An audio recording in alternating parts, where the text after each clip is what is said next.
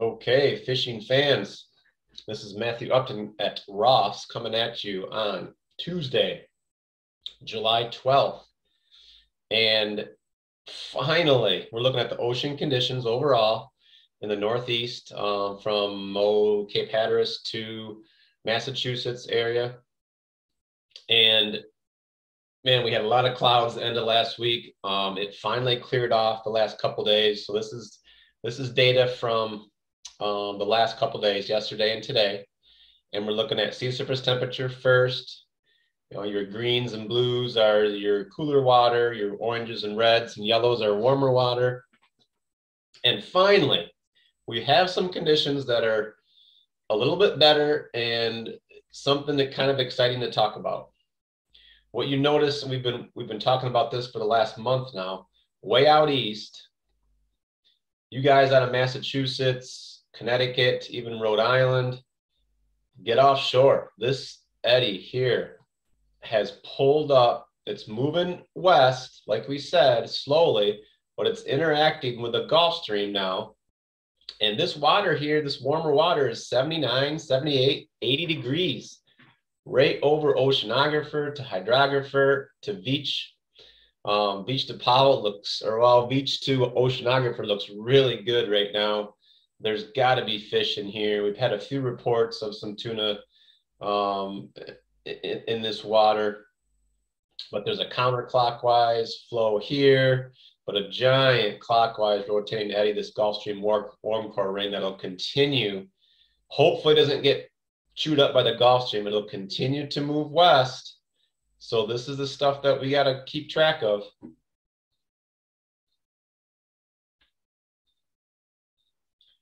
And further to the east, look like we have a filament of 75 degree water, some counterclockwise rotation here.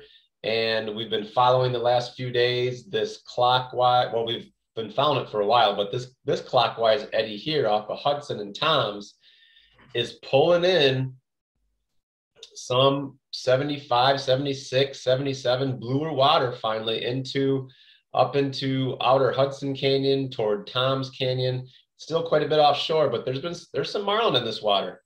And um, further south, what the Gulf Stream has done the last few days over the weekend is been pushing north. It's been pushing north. We've had a giant um, counterclockwise eddy here. This is this is within reach the Jimmy Johnson tournament, I believe, for some decent Marlin action. We continue to, to follow this clockwise eddy between Balt, well, off of Poor Man's, between Poor Man's and Washington. This is pulling in a filament of water. This is 75, 76 degrees. But what we notice down here, this is new to us that we haven't seen in a while because it's been so cloudy. There's a giant, another giant counterclockwise Gulf Stream eddy pushing this Gulf, this Gulf Stream up and in. And this becomes a highway for these, a new batch of marlin tuna, wahoo, mahi into the canyons. And this is exciting because we haven't the conditions haven't looked that good in the canyons in the last um, couple weeks, really since after Memorial Day.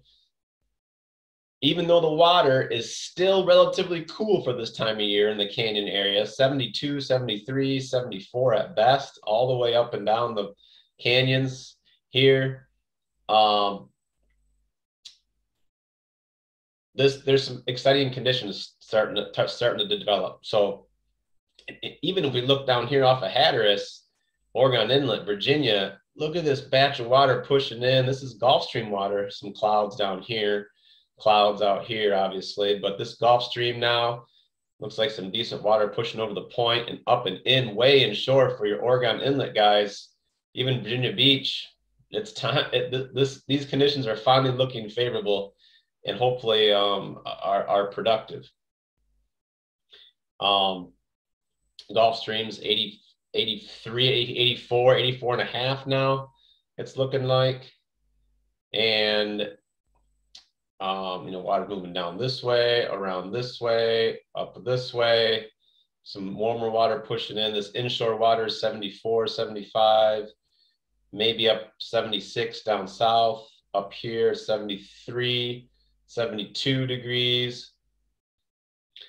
Uh, so you know, decent for some some bluefin, hopefully up in the off of Long Island, and even your Gulf of Maine guys. This water now 67, 68, 66, 68 at best. It's bluefin tuna. But look at the craziness on this large counterclockwise eddy on the eastern side, one here, clockwise eddy here, another one here.